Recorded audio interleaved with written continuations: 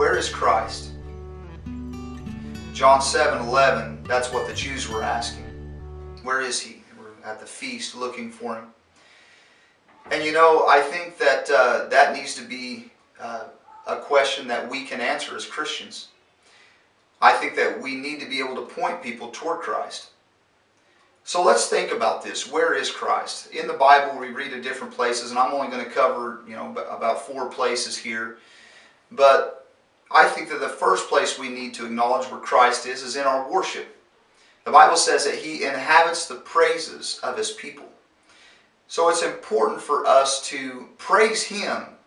When a person comes into our churches and they come in, they sit down, and they're from they're they're having problems with a broken home, or they're having you know, uh, addiction problems or whatever it may be. They're not there to listen to a pretty song. They're not there to, to hear a pretty message, but they're there to see Christ.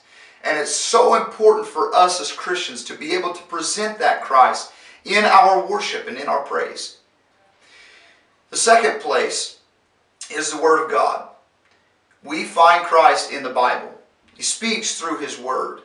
You know, some people say, well, yeah, you find Christ in uh, Matthew, Mark, Luke, and John, the Gospels, or you find Christ uh, in Revelation, or, or, whatever it may be. But I want you to understand that Christ is way from the very beginning to the very end. I just came back from winter warm up in, in Ohio where I challenged the young people read the Bible from cover to cover, and you'll know Christ. Third place is the valley. He is the lily of the valley in that storm, He is the eye of the storm. Just because you're going through something doesn't mean that Christ isn't there. He is there. Yea, though, yea, though I walk through the valley of the shadow of death, I will fear no evil, for thou art with me. You may have led me into the valley, Lord, but you'll also lead me through the valley.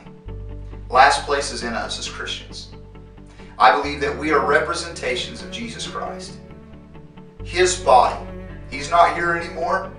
We are the body of Christ. And it's important that we can show this world Jesus Christ through us.